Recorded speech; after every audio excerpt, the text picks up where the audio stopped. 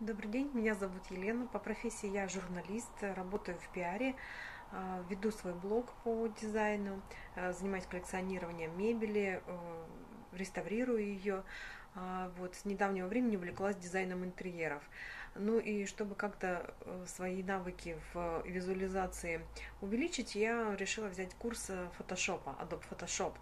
Вот, и увидела в интернете рекламу Алекса Скиделя, вот, ну, решила послушать бесплатный вебинар, в общем-то, посмотрела все и оплатила один месяц занятий по э, фотошопу.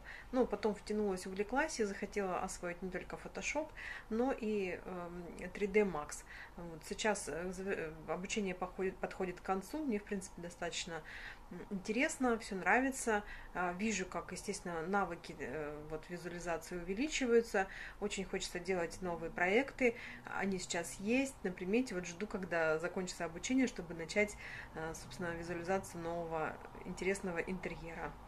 А, вот э, из плюсов могу ответить, отметить то, что а, все обучение разбито на небольшие шаги, которые нужно практически регулярно выполнять, и они позволяют не закопаться в работе, да, а делать все поэтапно, не э, успеваешь устать, не успеваешь, в общем-то, не успевать это надоесть, а, в общем-то, хорошо разбираешь материал, как мне кажется.